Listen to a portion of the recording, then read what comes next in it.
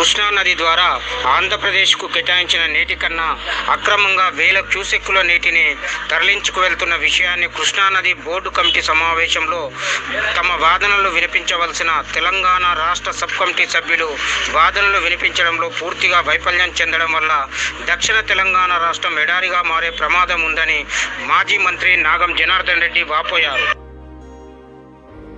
నమస్కారాలు. నిన్న Krishna river management board meeting అయింది. ఈరోజు గోదావరి రివర్ మేనేజ్మెంట్ బోర్డుది ఈరోజు అయింది.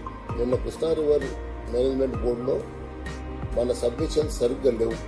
ముఖ్యంగా ఈరోజు మనం సెపరేట్ అయిపోయినాం. రాష్ట్రం సెపరేట్ అయిపోయింది. మనం వేరుపడ్డాం. వేరుపడ్డాక కూడా ఇంకా వీళ్ళు కృష్ణానది జలాలను అదనంగా మళ్ళీ తీసుకొని పోయి గోదావరి పెన్నార్ బేసిన్కు మీరు మళ్ళిస్తామంటే ఇక్కడ మేము కృష్ణానదిలోనేమో ఎండిపోతున్నాము. మీరు మేము సాటిస్ఫై అంటే అది వేరే విషయం. తప్పది.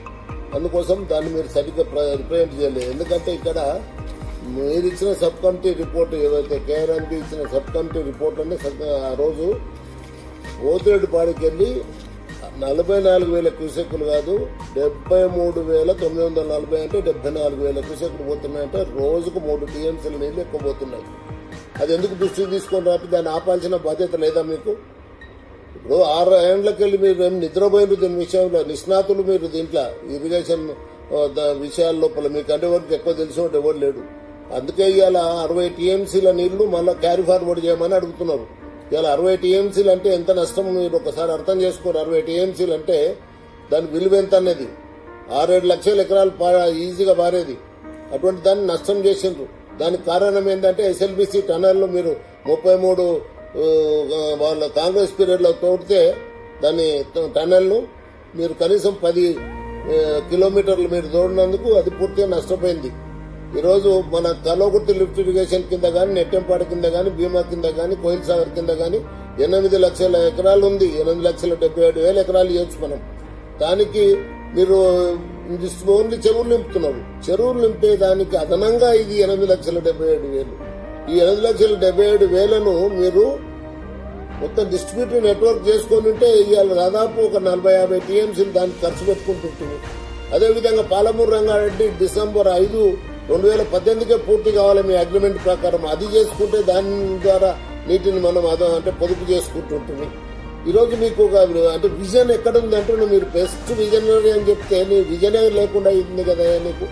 ఇవాళ మొత్తం తె- తెలంగాణలో ఇప్పుడు ఉండే మారునర్ కానీ నల్గొండ కానీ ఈరోజు రంగారెడ్డి కానీ ఖమ్మం కానీ మొత్తం ఇవాళ పోతేటి పాటలు అంటే హెడ్ రెగ్యులేటర్ పెంచితే మొత్తం ఇవన్నీ ఎండిపోతాయి.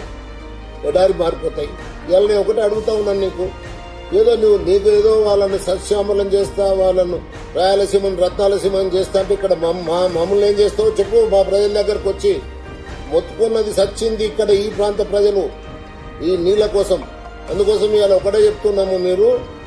ఈ నలభై ఐదు టీఎంసీలు ఏదైతే ఉందో పట్టిసీమకెళ్ళి వచ్చిన మనకు రావాల్సిన వాటా దాన్ని ఇంతవరకు క్లీన్ చేస్తలేరు మీరు. అవి ఇప్పుడు మీరు తీసుకున్న ఉన్న నీళ్ళే వాడుకోలేదు. నికర జలాలు కూడా వాడుకోలేదు. ఫ్లడ్ జలాలు ఇచ్చిపెట్టి రెండు వందల డెబ్బై రెండే వాడిండ్రు రెండు వందల తొంభై తొమ్మిదికి ఇప్పుడు ఆ నలభై ఐదు గిట్లు వచ్చినా అవి దానిలో కలిసిపోతుంటుండే. కానీ మీరు అది అది దానికి ప్లాన్ చేసుకోండి త్వరితగతిన. కల్వకుర్తిలో బ్యాలెన్సింగ్ రిజర్వాయర్ లేవని మొత్తుకుంటుంటే ఇంతవరకు ఎన్నిసార్లు ఉత్తరాలు రాసినా నీకు చెల్లడం లేదు. ఈరోజు ఆ పాలమూర్తి మళ్ళీ ఒకటి ఏం చేస్తావా ఏం టీఎంసీ చేస్తావో అది ప్రజలకే నువ్వు చెప్పుకోవాల్సిందే ఆడ. నువ్వైతే భూత్పూర్ దగ్గర కర్వేండ్ల మీటింగ్ పెట్టావు కదా ఆ మీటింగ్ కాడికే వచ్చి ఎందుకు తగ్గిస్తున్నావో చెప్పు. అక్కడ నువ్వు మూడు టీఎంసీలు చేయి. ఇక్కడ రెండు టీఎంసీలు చేయి. అక్కడ చేయొద్దంటలే నేను. కానీ ఇక్కడ నువ్వు ఎందుకు తగ్గిస్తున్నావు?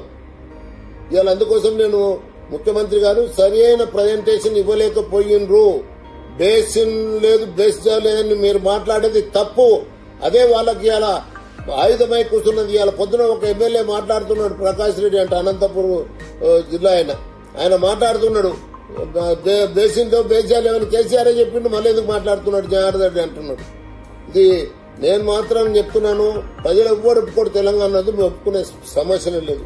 ఇంకొక విషయం కూడా స్పష్టంగా చెప్తున్నాం గోదావరిలో మస్తు ఉన్నాయి నీళ్ళు మనకు తొమ్మిది వందల అరవై టీఎంసీ ఉన్నాయి వాళ్ళు ఏం ఆబ్జెక్షన్ చేసుకుంటే చేసుకోమని అని చెప్పండి? మన నీళ్ళను మనం అంటే హక్కుగా మనం పొందాల్సిన అవసరం ఉంది ఎన్నిటికైనా పర్మిషన్లు వస్తాయి అన్ని వస్తాయి దానికేమి అది లేదు. ఇలా డిజైన్లు చక్కగా చేస్తే చాలు. ఇంకా లూటీ చేసే డిజైన్లు చేయకుంటే. అందుకోసం ఇవాళ ఒక్కటే మీతో కోరుకునేది గోదావరి జలాలు యూటిలైజేషన్లకు తీసుకురావాల్సిన అవసరం ఉంది. తీసుకురండి. కృష్ణానదిలో పోతిరెడ్డి పాడును మాత్రం వెడల్పు చేస్తే ఉట్టుకునేది లేదు.